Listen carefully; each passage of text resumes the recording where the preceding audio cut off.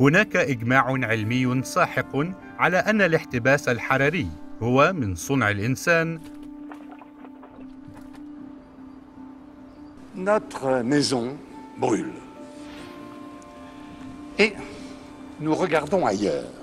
Nous ne pourrons pas dire que nous ne savions pas. Prenons garde que le 21e siècle ne devienne pas, pour les générations futures, celui d'un crime de l'humanité contre la vie. منذ الثورة الصناعية احتلت كميات كبيرة من غازات الاحتباس الحراري الغلاف الجوي مما أدى إلى تغيير مناخ الأرض The most relevant finding is that emissions are increasing. They are increasing with an increasing growth rate due to the fact that we have seen remarkable economic growth over the last decade. تطلق الأنشطة البشرية حاليا أكثر من 30 مليار طن من ثاني أكسيد الكربون في الغلاف الجوي كل عام مما يشكل زيادة تعادل 40% مقارنة بمرحلة ما قبل عصر الصناعة.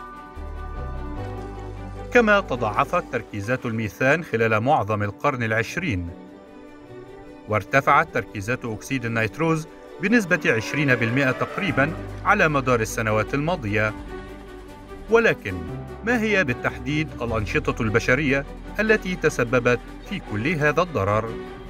تأتي الصناعة التي تعتمد على حرق الوقود الأحفوري في مقدمة الأنشطة المدمرة للبيئة 産業部門は2000年以降他のどの部門の排出量よりも急速に増加してきていて間接的な排出量つまり ويعد تزويد المباني بالطاقة ووسائل النقل من المساهمين الرئيسيين في انبعاثات غازات الاحتباس الحراري كما يساهم إنتاج الغذاء في تدمير البيئة بسبب انبعاثات ثاني أكسيد الكربون والميثان وغازات دفيئة أخرى بطرق مختلفة and we have to reduce greenhouse gas intensity of food production system.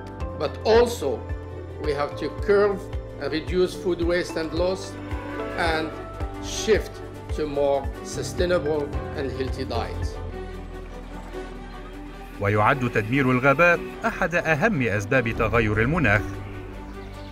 The more trees we cut down, the more we hinder the ability of the planet to balance how much carbon is in the atmosphere.